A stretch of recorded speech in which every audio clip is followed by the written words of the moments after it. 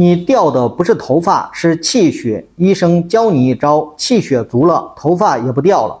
大家好，我是沈医生。你知道吗？平时掉的头发，其实全是你的气血。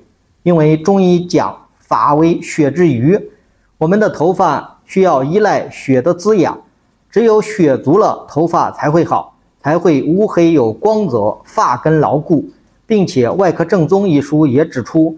血虚不能随气荣养，就会导致毛发脱落。所以，如果说你出现了血虚、身体血液不足的情况，那么头皮和头发也就不能够被血液滋养，那这时候头发自然就开始掉发、脱发，常常一掉就一大把，并且血虚的人头发还容易干枯、毛糙，容易开叉、易断。那么这时候想改善掉发的情况，就需要从气血入手。那接下来沈医生就教大家一招，用三个中成药大补气血。那第一个就是人参养荣丸，这个药补气养血，适合气血亏虚导致头发量少的人群。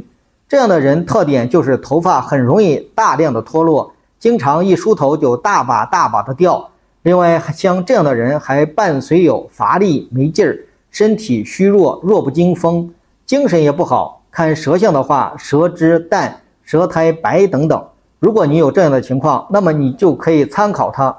第二个就是养血生发胶囊，这个药能养血祛风，可以用于血虚风盛而引起脱发的人群。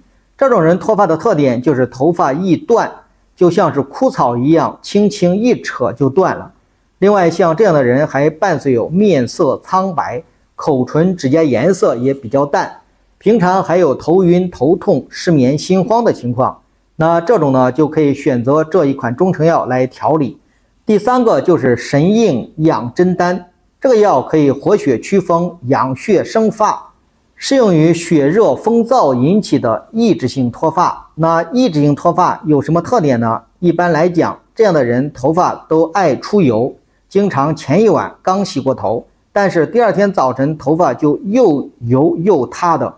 并且头皮屑多，头发还瘙痒，那这种情况就可以参考它来改善。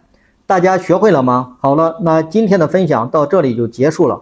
如果身体不适，请线下找专业医生指导用药。喜欢的话，请长按点赞三秒，关注转发一下。我是中医沈红。